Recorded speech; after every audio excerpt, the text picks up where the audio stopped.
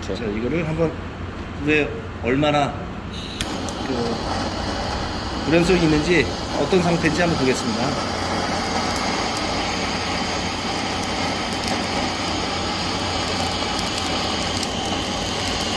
여기까지 찍어야죠.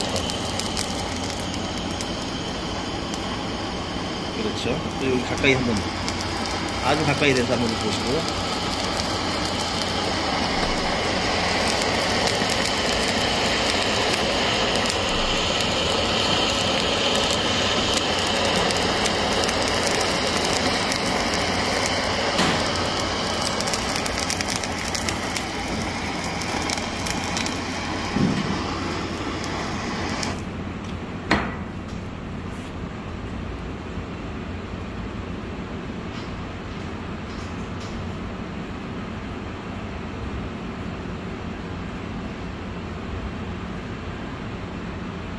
야, 불이 안 탑니다.